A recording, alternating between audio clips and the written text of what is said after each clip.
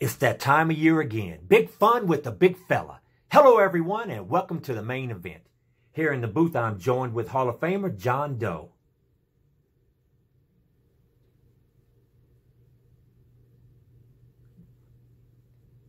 And by my side, I've got another analyst who's never played sports. Yeah, you said it, John. Let's send it down to Miami to see the festival starting lineup. Needless to say, the festival roster is loaded this year, huh, John? Big game weekend. We'll be right back with some highlights after a word from our sponsor.